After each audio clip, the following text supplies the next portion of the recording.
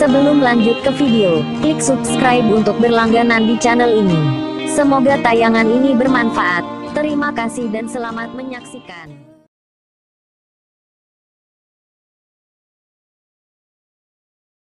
Sudah selayaknya jika suami istri yang baru menikah melaksanakan ibadah bersama-sama, apalagi bagi pasangan muslim yang baru mendayung bahtera rumah tangganya, tidak hanya melaksanakan ibadah salat lima waktu, melainkan ibadah-ibadah cinta lainnya akan lebih nikmat jika dilakukan secara kompak, suami menjadi imamnya, diikuti istri dan anak-anak, hal demikian juga yang dimungkinkan bakal terjadi pada keluarga Empu Emran dan Laudia Cynthia Bella selepas meresmikan pernikahannya di Malaysia. Namun dasri foto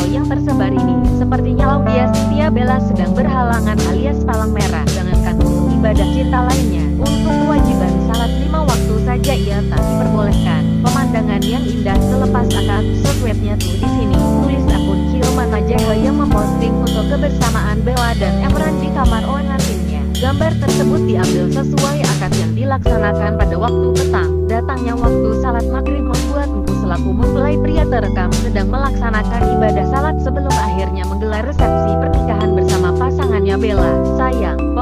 ibadah pertama suami istri seperti ada yang janggal.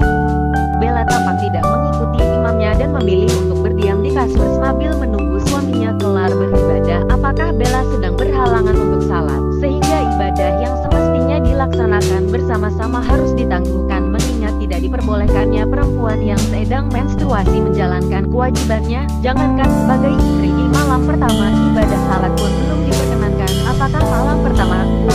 Nabila gagal? Walah walah, pasalnya saat pagi menjelang, dari atas kasurnya Bella memposting sesuatu tentang cinta. Ada foto yang macam-macam, terlihat dari unggahan instastory-nya di Instagram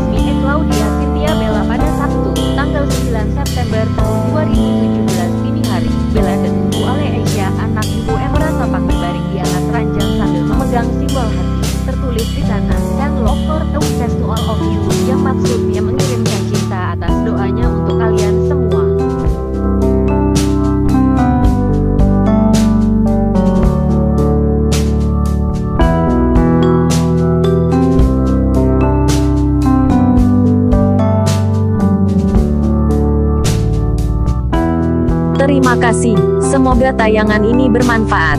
Dan jangan lupa klik subscribe untuk berlangganan di channel ini.